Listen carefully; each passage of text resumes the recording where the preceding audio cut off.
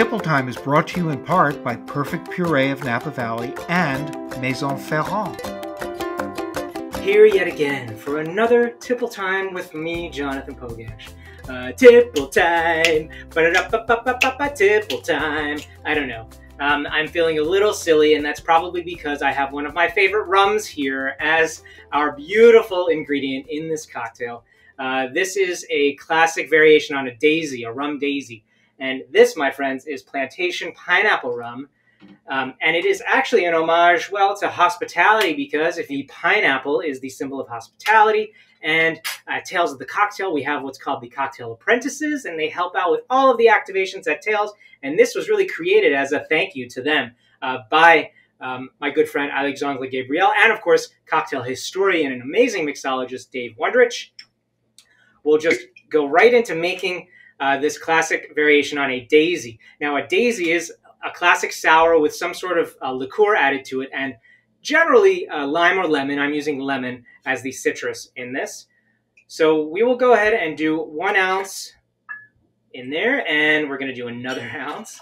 So that's two ounces if you're counting there at home.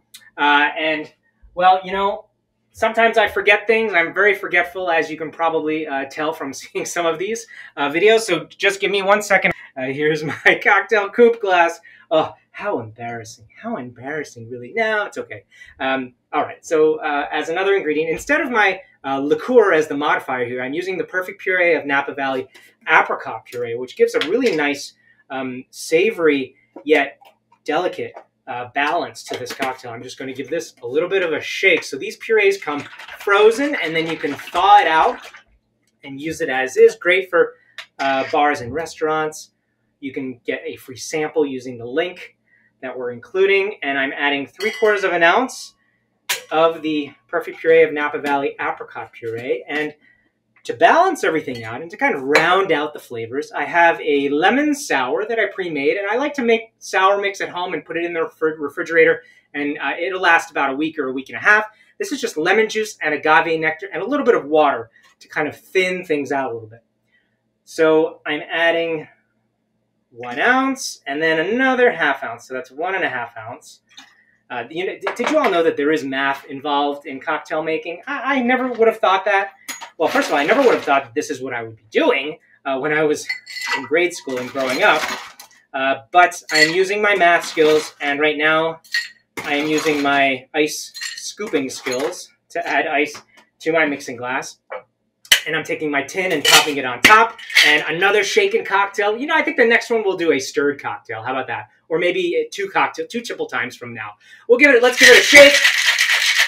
Okay, I'm using my arm muscles. I'm shaking above my shoulder, and you may remember the saying that I always go by: "Shake it awake, don't rock it to sleep." Okay, there we go. And smile. Uh, shake your face. Are you smiling? Are you not smiling? Are you grinning? That's your shaker face, right? I mean, I like to I like to smile, even though I, even if I'm in a little bit of a bad mood. Uh, just putting a smile on your face kind of gets you back into a better mood, doesn't it? Am I right or am I right? Okay, here we go. Beautiful daisy cocktail. And I'm going to give it a little bit of a taste. Hold on. Oh, it smells really nice. I love that plantation pineapple and the perfect apricot. Mmm. Oh yeah, that is a really nicely balanced cocktail. It would probably work really well with food. I'm getting some really nice savory notes. A little bit of cumin in there as well. There's no cumin, but kind of get that in my palate. Um, but ladies and gentlemen, thanks as always. This is uh, yet again another Tipple Time, and cheers to you and to yours. Tipple Time is brought to you in part by Maison Ferrand and Perfect Puree of Napa Valley.